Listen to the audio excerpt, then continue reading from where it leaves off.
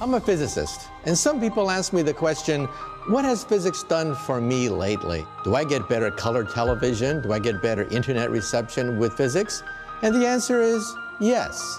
If you want to understand the future, you have to understand physics.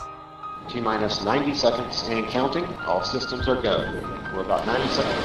Seven, six, line, boost ignition, and liftoff of the Space Shuttle Discovery,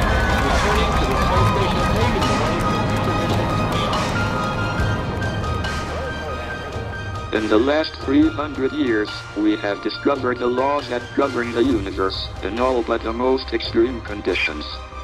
I think there is a reasonable chance that we may find a complete set of laws by the end of the century if we don't blow ourselves up first.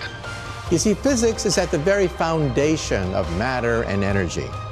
In other words, almost everything at some point or other can be traced to a physicist.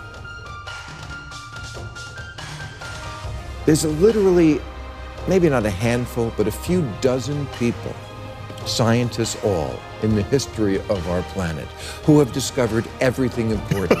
and every other billions of the people have just glommed onto that, or else we would be sitting in rolled up balls of dirt and eating straw. Yeah, that's that that, that is accurate.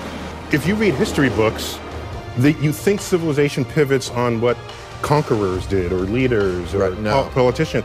And civilization, as we have come to know it and understand it, pivots on the work of singular Really people does. who have preceded us that have changed the course of how we have interacted with the laws of nature.